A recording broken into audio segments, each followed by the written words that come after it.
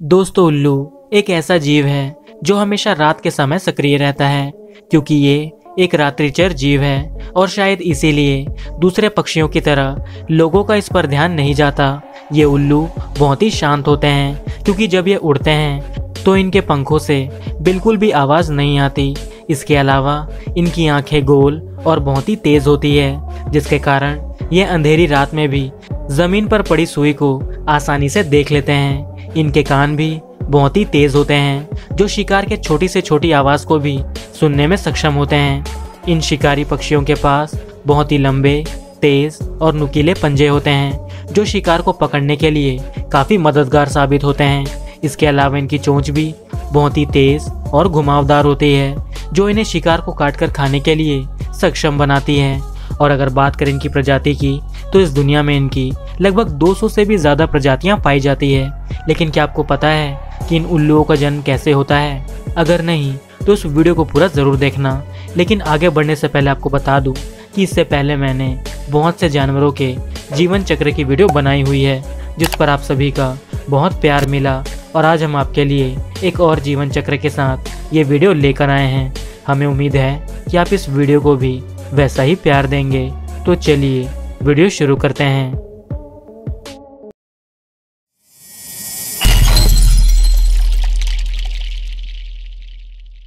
दोस्तों, जैसा कि मैंने आपसे कहा कि ये उल्लू एक निशाचर जीव होते हैं और इनका आकार विभिन्न प्रजाति के आधार पर अलग अलग होता है। शोधकर्ताओं के अनुसार, एक सामान्य उल्लू का वज़न चार से पाँच किलोग्राम के बीच होता है और इनका आकार दो से तीन फीट के बीच होता है। और अगर बात करें इनके रंगों की तो इनके रंगों में विभिन्न प्रकार के पैटर्न मौजूद होते हैं, जो इन्हें अपने आसपास के परिवेश में घुलने मिलने में मदद करते हैं। इसके अलावा, ये अपनी गर्दन को 360 डिग्री के एंगल तक घुमा सकते हैं। और अगर बात करें इनके भोजन की तो इनके आहार में चूहे, मेंढक, छिपकली और गिलहरी जैसे जीव शामिल होते हैं। तो चलिए, अब हम इनके जीवन चक्र के बारे में बात करते हैं। तो दोस्तों, इस प्रक्रिया में सबसे पहले नर और मादा का मिलन होता है, जैसा कि आप देख सकते हैं। और इनका ये मिलन कुछ मिनटों से लेकर घंटों तक चल सकता है।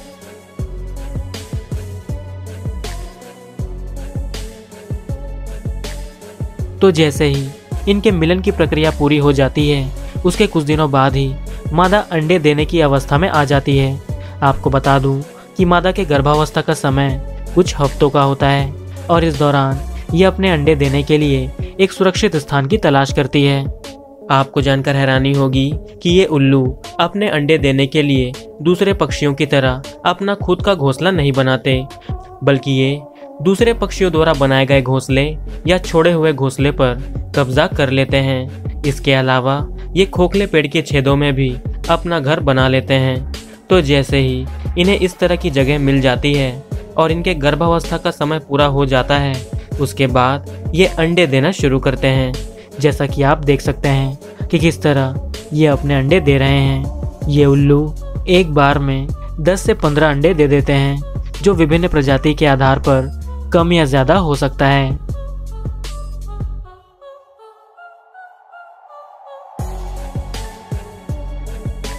तो जैसे ही ये अपने सारे अंडे दे देती है, उसके बाद ये अंडों को सेना शुरू करती है। और नर उल्लू खाना लाने का काम करता है।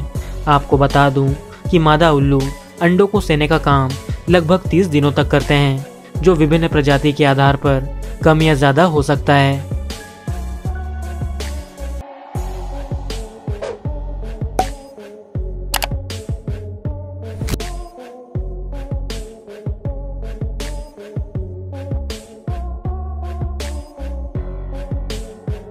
तो जैसे ही तीस दिनों का समय पूरा हो जाता है। उसके बाद अंडों से बच्चे निकलने शुरू होते हैं। जैसा कि आप देख सकते हैं कि किस तरह ये बच्चे निकल रहे हैं। ये नवजात बच्चे, गुलाबी त्वचा और सफ़ेद पंखों के साथ पैदा होते हैं। चाहे ये किसी भी प्रजाति के हों और जैसे ही ये सारे बच्चे बाहर आ जाते हैं तो उसके बाद मादा उल्लू इनका खास ध्यान रखती है। क्योंकि ये बच्चे भोजन और सुरक्षा के लिए पूरी तरह से अपनी माँ पर निर्भर होते हैं और जब ये पैदा होते हैं तो ये अंधे होते हैं। और अपने जीवन के शुरुआती एक महीने तक इनकी आँखों की रोशनी भी नहीं आती। इसके अलावा, मादा उल्लू अपने बच्चों को गर्म रखने के लिए अपने पंखों का इस्तेमाल करते हैं। अब जब मादा उल्लू अपने बच्चों का ध्यान रखने में व्यस्त रहती है तो नर उल्लू अभी भी इन सब के लिए खाना लाने का काम करता है। इनके आहार में छोटे स्तनधारी, सरीसृप और कीड़े मकोड़े शामिल होते हैं।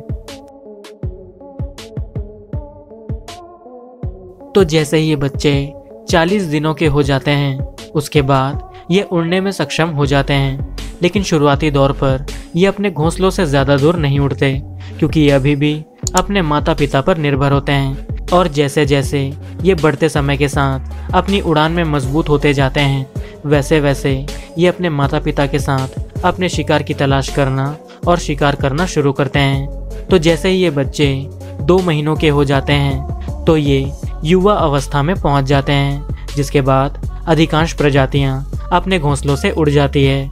लेकिन कुछ प्रजातियाँ होती है, जो अभी भी अपने पहले वर्ष के अंत तक अपनी माँ के साथ बने रहते हैं, क्योंकि जब ये एक बार बड़े और बूढ़े हो जाते हैं तो इनके जीवित रहने की संभावना बढ़ जाती है।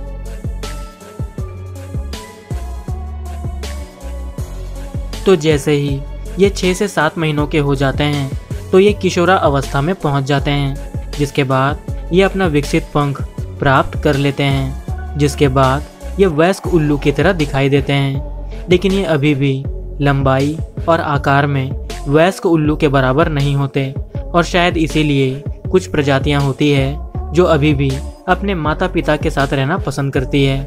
तो जैसे ही ये 9 से 12 महीनों के हो जाते हैं तो ये पूरी तरह से वयस्क हो जाते हैं। जिसके बाद ये पूरी तरह से यौन रूप से परिपक्व हो जाते हैं। जिसके बाद अधिकांश प्रजातियाँ अपने घोंसलों से बाहर निकलकर अपनी अपनी राह पर आगे बढ़ जाते हैं और फिर ये अपने साथी की तलाश कर मिलन प्रक्रिया में भाग लेते हैं और एक बार फिर ये जीवन चक्र शुरू हो जाता है।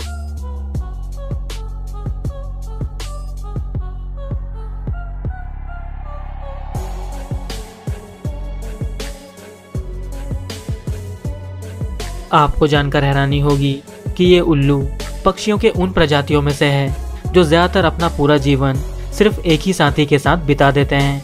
और अगर बात करें इनके जीवन काल की तो इन उल्लू का जीवन काल चार से आठ वर्षों का होता है, जो विभिन्न प्रजाति के आधार पर कम या ज़्यादा हो सकता है। और अगर ये उल्लू किसी कैद में है तो इनका जीवन काल पंद्रह वर्षों का भी हो सकता है, जो विभिन्न प्रजाति के आधार पर कम या ज़्यादा हो सकता है।